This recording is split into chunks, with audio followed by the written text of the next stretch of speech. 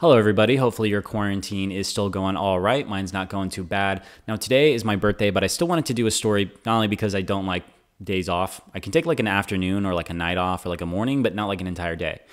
So, in order to keep the stories flowing, in addition to the fact that I strongly dislike Amazon, I have an interesting story about how Jeff Bezos, now his wealth just jumped up an extra $24 billion to himself because of the pandemic, despite the fact that his employees have had 74 cases of the virus, one death, and no paid sick time off. Now, I worked for Amazon. I was trained in 14 different jobs. And so I can talk about this from not only an intellectual perspective, but also a personal perspective as well. Now, here's what Business Insider had to say. I'm going to pretty much break down what they said because this is where I got the story originally from. And it's it's pretty much just like a summary of what I just said, or vice versa, I should say. According to the Bloomberg Billionaires Index, which by the way I checked and confirmed that this is in fact the case, Bezos is one of the few billionaires to have seen an increase in his net worth since the beginning of 2020. Bezos' wealth has increased by roughly 20% over the last four months to $138 billion in April. To put this in perspective, that's approximately $800 million a day, or $33 million an hour, or over $500 million a minute. Meanwhile, he doesn't offer paid sick time. Now, what Amazon, what they pretty much do is you have unpaid time off. You have paid time off, which is about a week and a half to two weeks. It's about the national average. And then you have no sick time as well. In addition to that, by the way, from a personal standpoint, everybody in there is sick and everybody's getting injured. So you might think, oh, you know, one and a half, two weeks, that sounds pretty good. No, it's not, considering the fact that it literally takes, you know, a couple weeks to even get through a single injury. And because they're pushing your work rate so high, literally everybody is injured.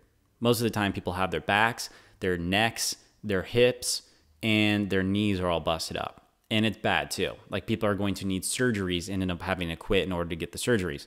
In addition to that, as well, Amazon point blankly told me, by the way, when I had a foot injury, they said, quote, Amazon does not promote injured people. And so they pressured me not to report the injuries as a result. The reason why that's relevant here is because when we're talking about the amount of sick time and paid time off, you're literally having to go into your own accounts and take out your paid time off in order to compensate for these sorts of things because you're worried that, hey, if I want to progress in this field, I have to be able to hang according to Amazon, what they say. Now, in addition to that as well, look, Amazon facilities are literally, from my experience, are 24 hour warehouse operations.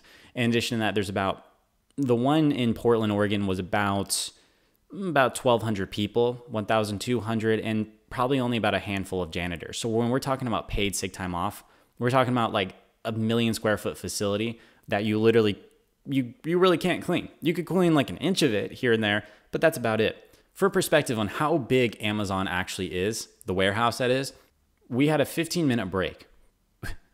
we had to walk seven minutes speed walking to the break room, grab a cup of coffee for a minute, and then speed walk another seven minutes all the way back to where we're supposed to be at, or else we're going to get in trouble. Mind you, in Amazon, if you're a minute late, you get charged an hour of your paid time off. Granted, they give a little bit of leeway. They'll be like, okay, you have within like a two minute threshold. But then if you're an extra minute late after that, then that's where you get the, the hour taken out. So when we're having this discussion about Bezos and, and capitalism in general, we have to remember the fact that this individual has the capacity to radically improve his employees' lives to the extent to where he could have the best managed facility in terms of human healthcare that anybody has ever seen in the history of the world. But instead, this individual is making $24 billion in a month, profiting off of a pandemic that is killing everybody as a result of that. So the question that we have to have is who is stepping up politically and challenging Amazon? Because the last thing that ever happened that I saw was the Amazon bill that Bernie Sanders supported, which increased the minimum wage to $15 for uh, for Amazon.